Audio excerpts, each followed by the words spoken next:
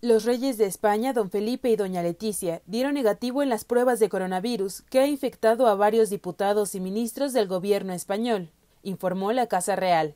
Los reyes se sometieron el jueves a la prueba del coronavirus como medida de prevención.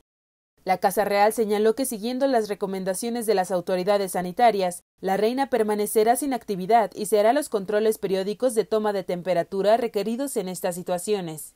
Los reyes se hicieron el test después de conocerse que la ministra de Igualdad, Irene Montero, había dado positivo en la prueba de COVID-19. Montero asistió a un evento la semana pasada junto con doña Leticia. La reina saludó a la ministra con un apretón de manos y se despidió de ella con un par de besos. Tras los exámenes realizados a todos los miembros del gobierno español, se confirmó que también está infectada la ministra de Política Territorial de España, Carolina Darias. Además, Santiago Abascal, líder del partido español Vox, dio positivo al coronavirus tras confirmarse el caso de Javier Ortega Smith, secretario general de esa organización. De acuerdo con el último balance del coronavirus del Ministerio de Sanidad de España, se han confirmado más de 3.000 casos de infectados y 87 muertos, la mayoría en Madrid.